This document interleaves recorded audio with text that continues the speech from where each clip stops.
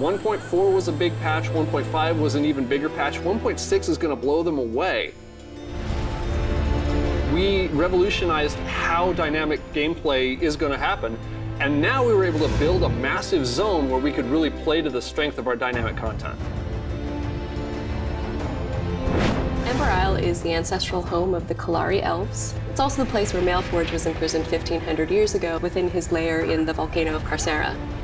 People will get really excited about Ember Isle because it is specifically designed for level 50 players, the sheer variety of things to do, and Guardians and Defiance will have new stories to explore.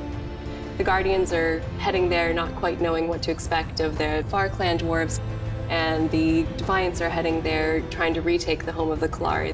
Ember Isle is actually the largest zone we will have ever made, and it is just stunningly beautiful. Ember Isle is a big project. And we were looking at all kinds of weird reference from all different jungles and all different cultures of our history and seeing what we can really do to make this come to life. I think that's the general idea we want players to start feeling, oh, shoot, you know, I've never seen anything like that.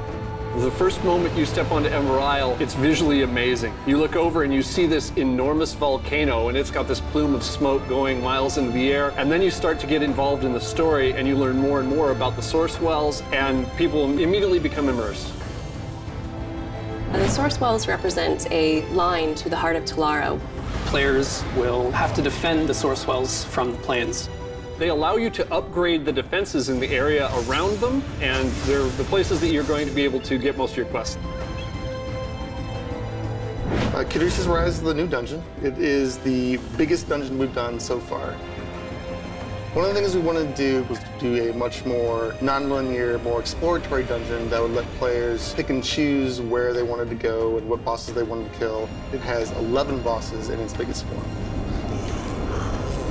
While players are playing the Ember Isle content, they'll be constantly working towards uh, new rewards that we're adding.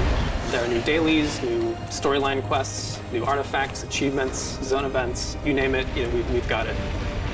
One of the things that we've never held back on is a steady stream of new content to our players. We continue to funnel out more content than anybody in the MMO space. We're doing that again with Ember Isle.